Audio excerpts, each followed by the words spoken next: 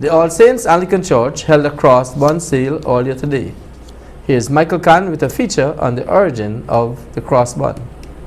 A hot cross bun is a spiced sweet bun made with currants or raisins marked with a cross on the top and traditionally eaten on Good Friday in the British Isles, Australia, New Zealand, South Africa, Canada and India. The buns mark the end of the Lent and different parts of the hot cross bun have certain meaning, including the cross representing the crucifixion of Jesus, and the spices signify the spices used to embalm him at his burial. Earlier today, the All Saints Anglican Church in New Amsterdam held its traditional cross buns sale in front of DTV 8, where members of the public had the opportunity to purchase cross buns baked by various members of the parish.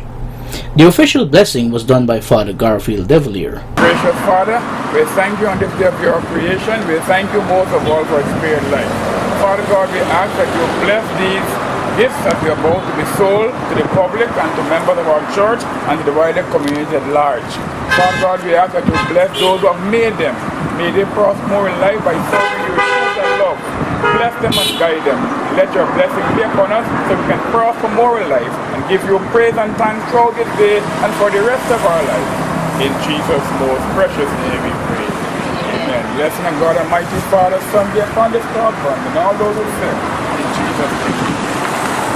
English folklore includes many superstitions surrounding hot cross buns.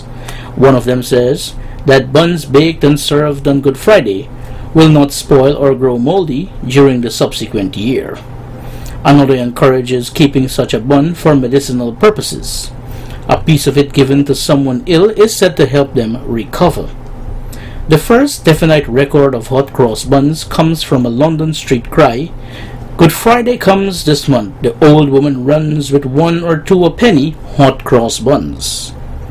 Michael Kahn, Channel 8 News.